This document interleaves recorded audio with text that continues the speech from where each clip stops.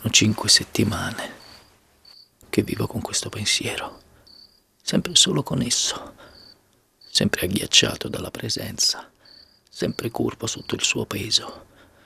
Un tempo, poiché mi sembra siano passati anni e non settimane, io ero un uomo come tutti gli altri.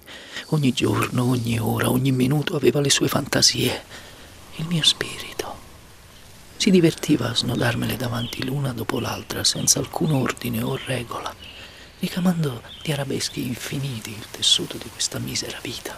Era sempre festa nella mia immaginazione, potevo sempre pensare a quello che volevo.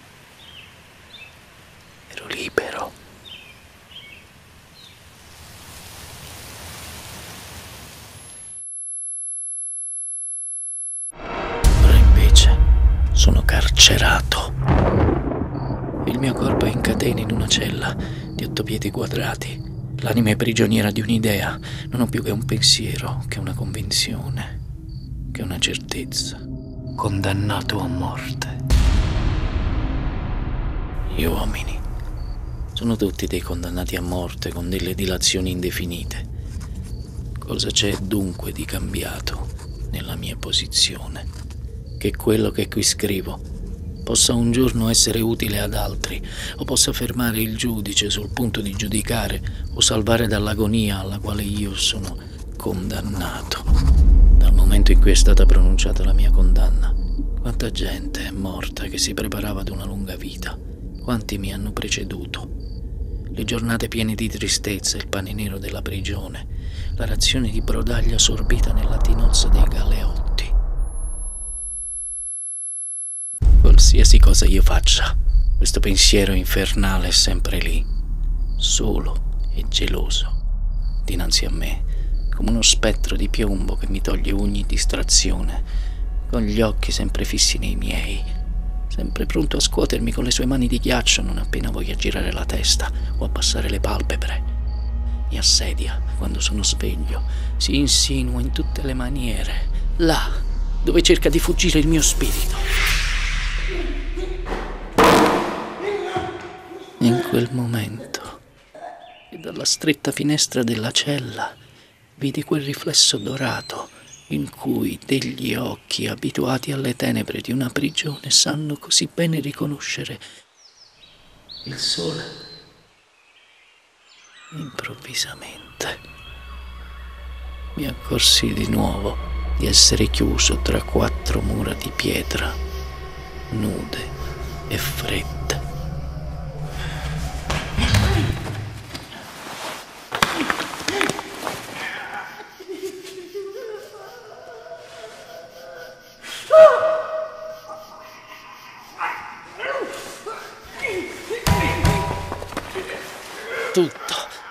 Intorno a me è monotono e senza colore. Loro non vedono tutto questo che la caduta a piombo di un coltello a mezzaluna e pensano che di certo il condannato non ha niente davanti a sé. Loro godono, trionfanti di poter uccidere senza quasi far male, come se proprio di questo si trattasse. Cosa è mai? Infatti, il dolore fisico paragonato a quello morale, all'orrore, la pietà delle leggi fatte in un simile modo, ma verrà il giorno in cui, e forse queste memorie, ultimi confidenti di un miserabile, vi avranno contribuito.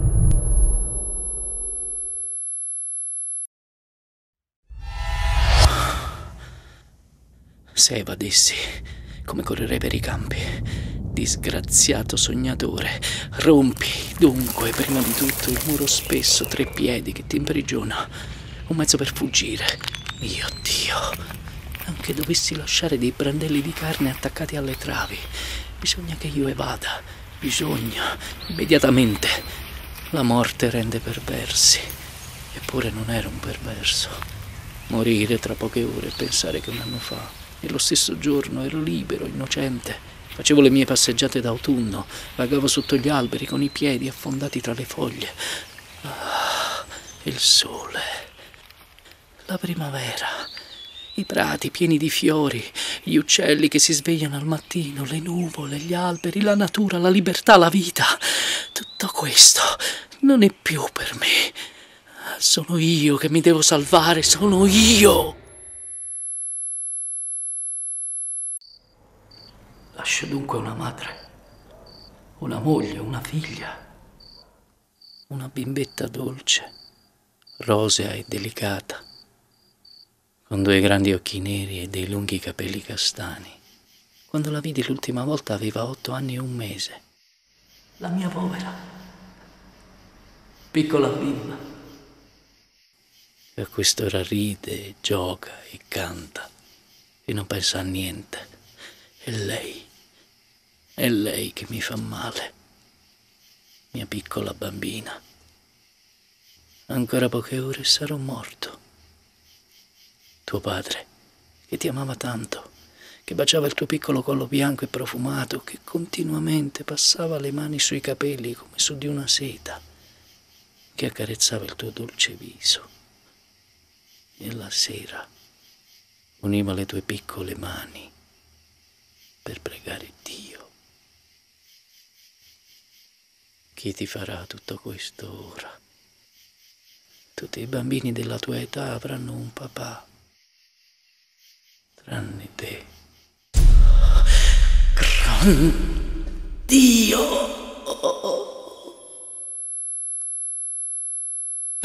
Ancora due ore e 45 minuti e sarò guarito.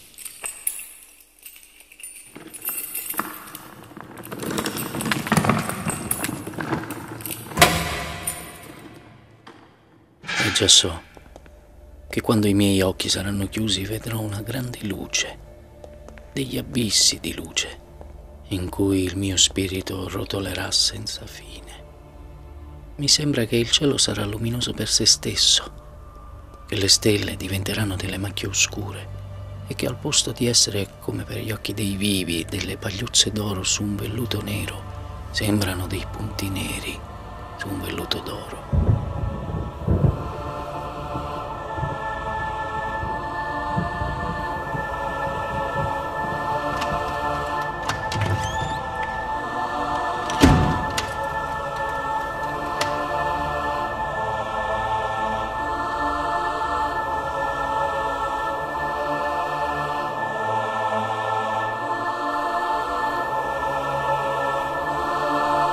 La grazia, la grazia, per pietà, ancora qualche minuto di vita.